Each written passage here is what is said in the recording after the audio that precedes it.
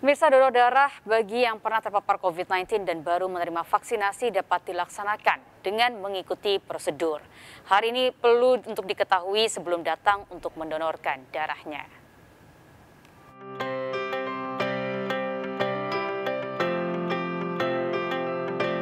Donor darah kembali digelar MNC Peduli bekerja sama dengan PMI Kota Depok. Digelar di MNC Center Kebon Siri, Jakarta Pusat, donor darah diikuti karyawan dan karyawati MNC Group. Sejumlah prosedur wajib diketahui bagi para calon pendonor sebelum mendonorkan darahnya, termasuk bagi penyintas COVID-19 dan mereka yang baru saja melakukan vaksinasi.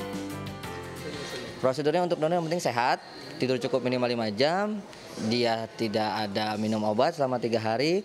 Kalau yang bagi yang vaksin, untuk vaksin pertama tiga hari setelah vaksin baru boleh donor. Vaksin kedua dan ketiga tujuh hari setelah vaksin baru boleh donor. Kalau misalkan dia setelah positif, 14 hari setelah dinyatakan negatif tidak ada keluhan dia boleh donor. Eh, kebutuhan darah itu selalu ada. Jadi kita mengundang setiap dari karyawan untuk ikut serta karena kita semua punya darah dan bisa membagikan darah gitu ya. Jadi uh, mungkin kita ingin mengajak gitu di mana semua bisa belajar untuk berbagi kasih melalui darah yang mereka miliki. Tidak hanya berbagi darah, donor darah juga bermanfaat bagi kesehatan.